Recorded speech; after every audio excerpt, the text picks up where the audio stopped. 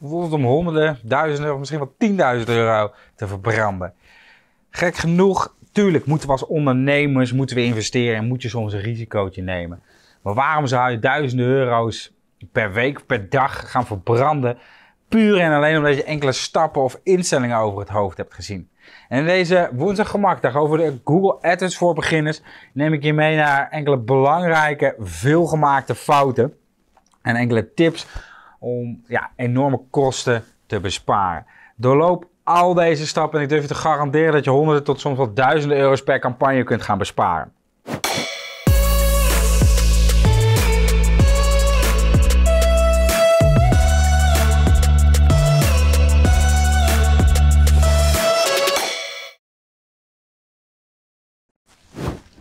Nou, deze video gaat dus vooral over het besparen van uh, kosten, begin ik direct eigenlijk met dat wanneer je gaat adverteren budget totaal niet belangrijk is.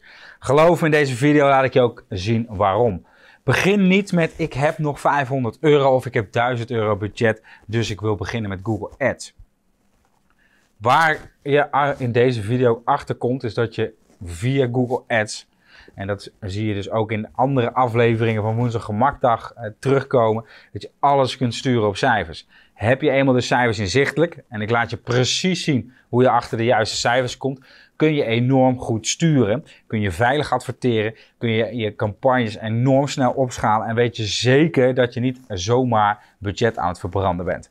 In deze aflevering doorlopen dus deze cijfers en neem ik je mee allereerst met het conversiepercentage. Het conversiepercentage is eigenlijk het percentage wat dus uiteindelijk jouw gewenste actie doet. Voordat jij er ook nog maar een euro uitgeeft, dien jij exact te weten per landingspagina waarop jij adverteert hoe hoog het conversiepercentage is. Dus per 100 bezoekers, hoe, hoeveel procent doet dan uiteindelijk wat jij wilt dat het doet. Schrijf je op je nieuwsbrief, koop je product, neemt contact op, etc. Heb je dit cijfer niet, dan weet je dus nu al dat je eigenlijk in de blinde weg aan het schieten bent. Heb je alles een campagne extern neergelegd, dus uitbesteed, en hebben zij niet gevraagd over het conversiepercentage, gemiddelde klantwaarde en de cijfers die we allemaal in deze video gaan behandelen, dan durf ik je nu al op een briefje te geven dat die partij meer in zijn belang denkt dan in dat van jou. Want weet jij exact wat het conversiepercentage is en de cijfers die je allemaal in deze video gaat ontdekken, dan kun je gewoon heel veilig adverteren. Nou, hoe werkt dit? Als je in Google Analytics kijkt, dan kun je via de bestemmingspagina's kun je achterhalen wat het conversiepercentage per landingspagina is. Nou, in andere afleveringen eh, ben ik hier nog veel dieper op ingegaan. Dus mocht je het interessant vinden, klik ergens op abonneren, want dan mis je geen enkele tip meer. Maar waar het voor deze video in ieder geval over gaat, is dat je dus nadenkt voordat je begint dus met je Google Ads campagnes wat is het conversiepercentage per bestemmingspagina? Nou, laten we kijken in Google Analytics. Je klikt op gedrag, site content en bestemmingspagina's. En probeer dan een zo groot, zo lang mogelijke meetperiode te selecteren. Dus wat je hier ziet, ik heb het voor het hele jaar gedaan. Als ik dan naar beneden scroll, dan kan ik hier zien wat het conversiepercentage is. Dus in sommige gevallen levert een pagina maar 11% of in dit geval de Google Merchandise Store 11% conversie op. Dus dat betekent per 100 bezoekers dat ze 11 verkopen krijgen. Nou, dat is een uh, leuk percentage. Mocht je dus op deze pagina willen adverteren, zet dan voor die pagina het conversiepercentage neer. Vul het vervolgens aan met de rest van de cijfers en je zult ook later ontdekken in deze video waarom. Hebt nu het conversiepercentage, heb je achterhaald maar van in Excel of welk programma jij dan ook prettig vindt, een overzicht van alle bestemmingspagina's, dus landingspagina's, waar jij wilt adverteren en noteer het conversiepercentage. Dat heb je, als het goed is, zojuist gedaan. In de volgende stap bereken je de klantwaarde. Als je gebruik maakt van Webnemer Shop, dan zie je dat in één oogopslag zie je direct wat de gemiddelde klantwaarde per pagina is. Mocht jij uh, geen gebruik maken van Webnemer Shop of Webnemer, maar wil je wel weten wat de gemiddelde klantwaarde is, dan raad ik je aan om per factuur.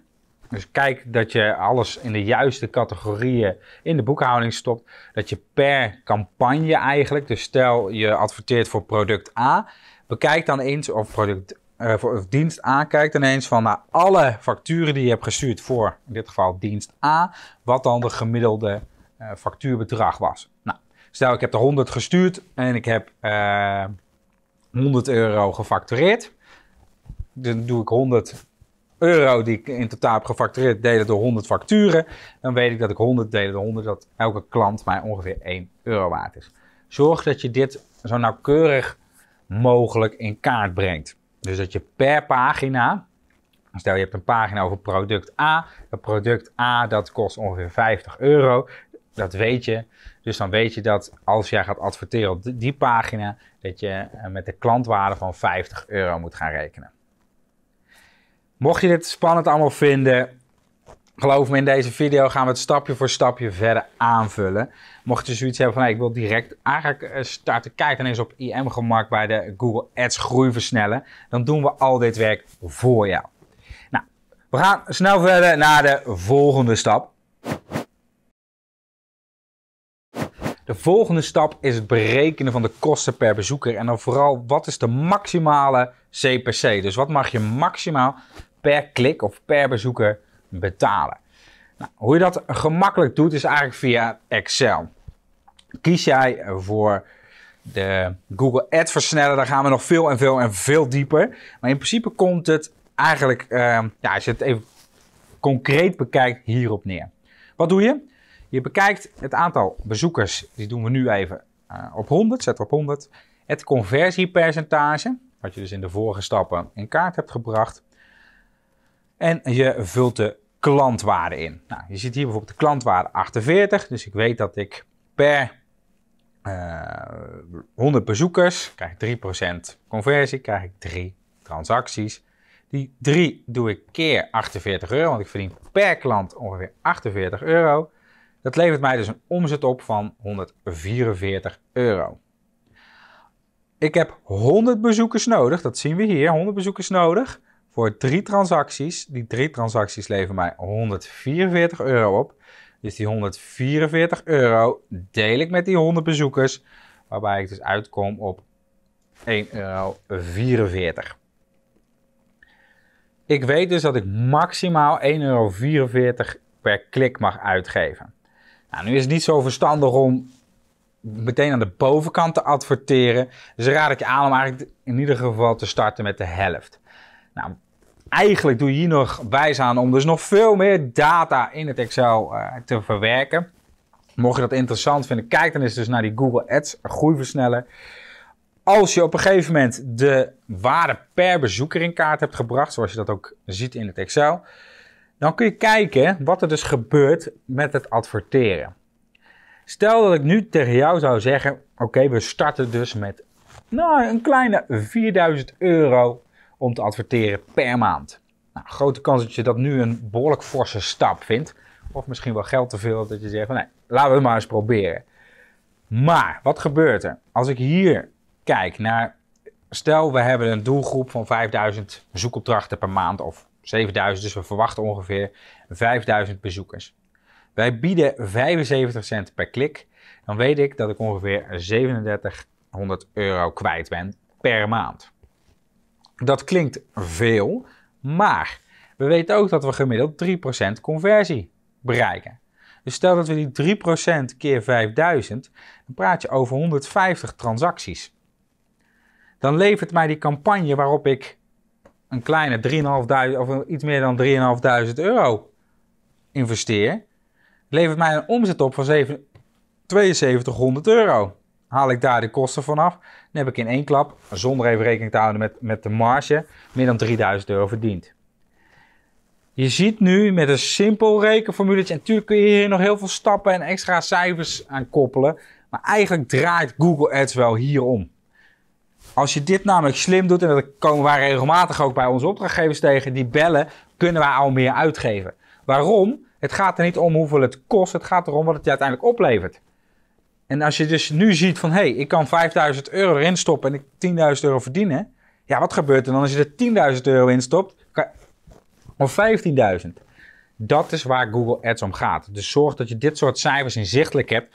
Want dan kun je daar heel gemakkelijk op sturen. Dan weet je precies van, hey, ik mag maar 75 cent per klik uitgeven. Ik moet mijn conversiepercentage in de gaten houden. En als dit allemaal goed gaat, dan weet ik zeker dat ik winst draai. Het laatste cijfer wat belangrijk is om in kaart te brengen, is de grootte van je doelgroep. Niet elk zoekwoord wordt 1000, 2000 of tienduizenden keren per maand gebruikt in Google.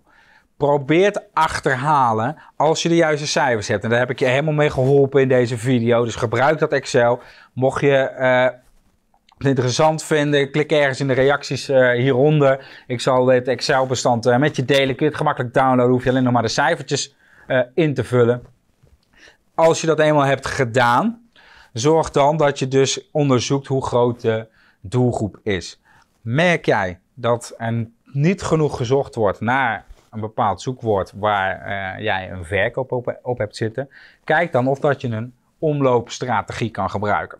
Nou, omloopstrategie is eigenlijk dat je dus op een thema gaat richten waar lage CPC op zit, dus een lage kosten per klik, waar veel zoekvolume op zit en waarvan jij weet van hé, hey, ik kan ze via een soort van funnel uiteindelijk alsnog een product verkopen.